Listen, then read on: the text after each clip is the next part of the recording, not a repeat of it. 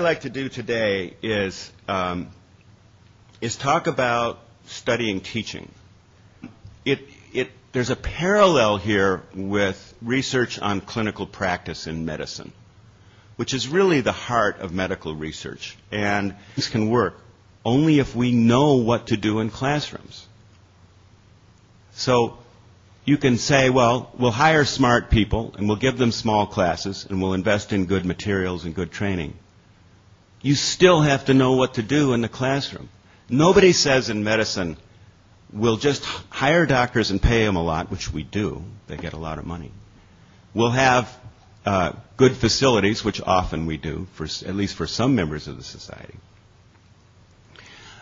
Nobody says that's sufficient you got to know which surgical procedures work. You have to know which medicines to prescribe. You've got to have rigorous evidence on the impact of clinical practice.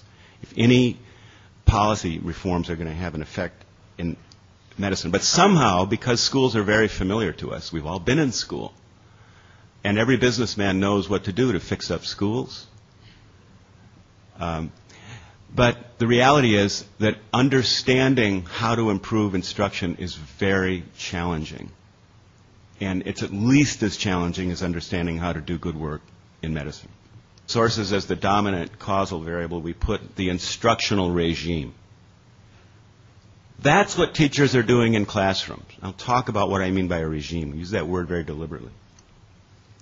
But that's what teachers are doing in classrooms, and that's the proximal cause of kids learning. That's where it's happening.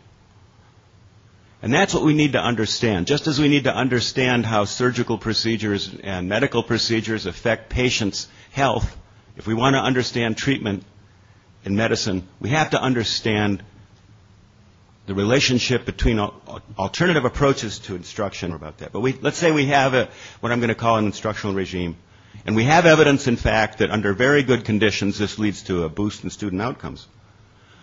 The resource question is, can we achieve those outcomes with teachers who may not be as skilled, classrooms that might not be as small, school environments that not, might not be as conducive? Those are the resource questions.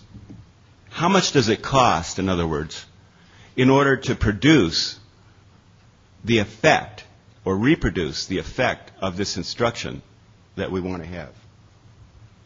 And then, so then the conclusion of this is to say that resources affect student learning by modifying the impact of instructional regimes. Okay? That's what resources do.